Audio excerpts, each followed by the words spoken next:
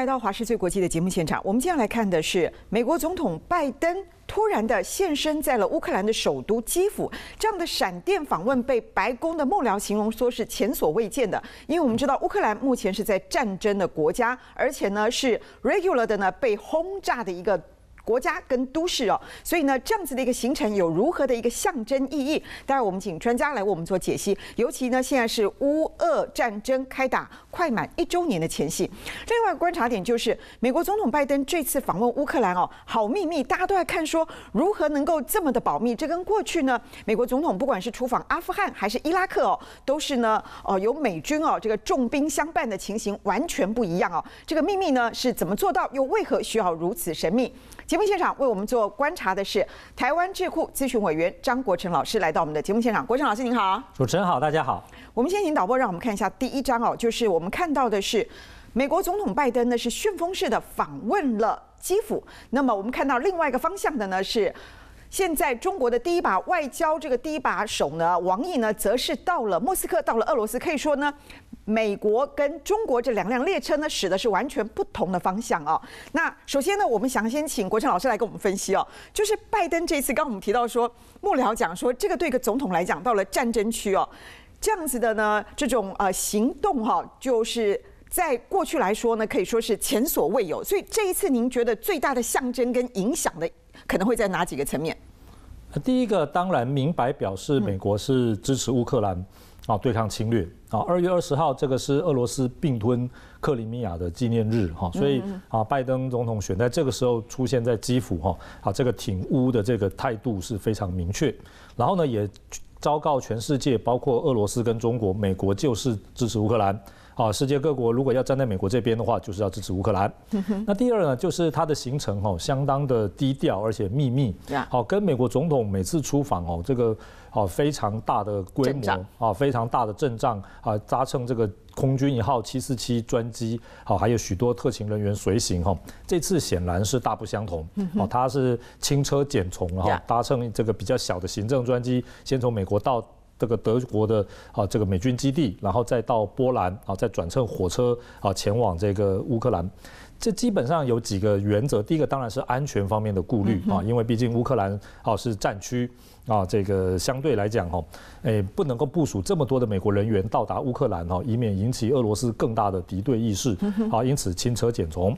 第二个呢，就是现在美国国内哈，还有欧洲部分国家，像德国境内哈，最近呢有大规模的这种和平的示威游行。好，希望啊，这个乌克兰能够跟俄罗斯和谈。那在这样的情况之下，美国当然也要考虑到啊，这个国内以及欧洲的盟国不同的声音。所以，拜登总统的房屋哈，相对来讲比较低调，啊，避免刺激。那国成老师，现在就是呢，比方说像 BBC 等外国媒体有一种分析的观点说。拜登在乌俄战争二月二十四号开打这个一周年的前夕来到乌克兰，某种程度呢，其实呢表示说我美国总统敢在这个时候来到战区哦，那么某一个程度呢，也可以呢把它解读说是俄罗斯是普丁的一种失败。您什么样的观察？呃，普丁当然还没有正式承认军事失败哈，不过呃至少呢已经明显的把讯息传达给普丁，就是美国是跟你。这个绝对是对立的啊，所以呢，我在这个时候啊访问乌克兰，那你这个俄罗斯呢就要衡量一下这个斤两，就是说你要不要负担跟美国全面对抗的风险啊？因此呢，我们也可以看到啊，拜登总统这次去呢也啊这个承诺给乌克兰更多的军援啊以及其他方面的援助，也就是说呢，美国一定会支持乌克兰对抗侵略，那要俄罗斯就三思了。如果你现在继续要侵略乌克兰的话，你。对对敌的不只是乌克兰，而且还包括美国。是，所以我们再请导播让我们看一下刚刚那一张 CG，就是说呢，一方面是拜登访问了乌克兰，那另外就是我们看到另外一个反方向的，就是中国的外交第一把手呢，王毅呢，则是到了这个莫斯科，到了俄罗斯哦。那么在这个时间点，由王毅去到呃俄罗斯，去到莫斯科，所以这样子相挺的意味其实也是蛮浓厚的。今天。C N 的头版头条就是说，中俄从来没有像现在这么紧密过。您怎么看？诶，当然，中国现在也是把牌亮的更加清楚，就是明白的要挺俄啊，那过去还没有那么明显啊。对，对照现在美国挺乌，那中国挺俄啊，现在态势是更加的明显。是，这当然呢，好，这个两大国为什么在这个时候这么清晰的表态哈？很可能是他们自己也有这个情资哈，或者是他们的判断，乌俄战争到了一个重要的关头。因此呢，都必须要更加明白的介入哈，啊，以免呢这个丧失这个话语权。所以，乌俄战争会不会很快的就会有哦更新的这个发展呢？不管是啊这个怎样的结果，我想值得我们密切的观察。所以啊，这个乌俄战争有可能的重要结果，可能是乌克兰方面哈会取得某些进展。那在这个情况之下呢，这个在和如果要进行和平谈判，它会处处于一个比较优势的地位。所以这个时候，美国好就是啊强化这方面的支持。如果将来在这个和平谈判里面，美国也可以扮演更重要的角色。那中国呢，当然也可能是看到这个美国投入的力度加大，好，俄罗斯会面对更大的压力。好，所以这个时候呢。好，一方面这个时候挺俄，俄罗斯会更加的感激；另外一方面呢，如果现在这时候因为会有重大转折出现，好，双方啊进行谈判的话，中国也认为这个时候不能缺席，是。啊，所以啊这个时候这个中国呢就选择说，哎，这个在这个时候访俄啊，表示不止挺普京之外呢，啊，习近平呢据说过不久哈也要发表所谓的和平谈话，啊，这个和平谈话呢很明显的就是中国不想缺席。也就是说，中国想要啊在这中间扮演积极的角色哈，当然中国会站在俄罗斯那边是毋庸置疑的。那俄罗斯的和平啊，当然就是最好乌克兰啊承认这个乌东二州属于俄罗斯，那俄罗斯立刻可以和平啊。啊，中国可能哈会比较偏向俄罗斯的这个立场，但是好这个和平呢，乌方当然说乌方也希望和平啊，条件是俄罗斯赶快滚出去，好恢复战前的状态，这是美国所支持的。所以到底是朝向哪一边的和平？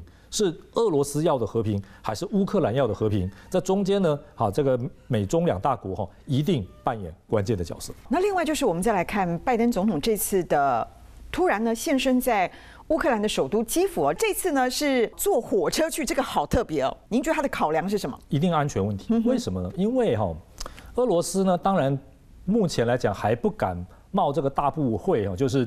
直接攻击美国总统，好，因为毕竟美俄都是大国，你攻击美国总统，美国不可能好这个做事变成第三次世界大战，这一定要有所反应的。但是现在在乌俄战场上，哈，存在着俄罗斯雇佣的这个佣兵集团，好，这个佣兵集团最近放出消息说，哎，这个要跟俄军要弹药要不到，嗯哼，啊，这个俄军呢也对这个用马格纳佣兵集团有所指责，哈，这个主要就是一种烟幕战，表示说呢，还存在的一种哈，俄方完全无。没没有办法完全指挥好这个的这个佣兵集团存在，到时候哈，他们两面手法，这个佣兵集团哦，突然对这个美国总统哦发动攻击，然后俄罗斯说这是他们的所作所为，我方好不完全知情，但是呢，好这个就已经对美国的威信，甚至拜登总统安全哦，造成了巨大的影响，这种奸诈的两面手法吼。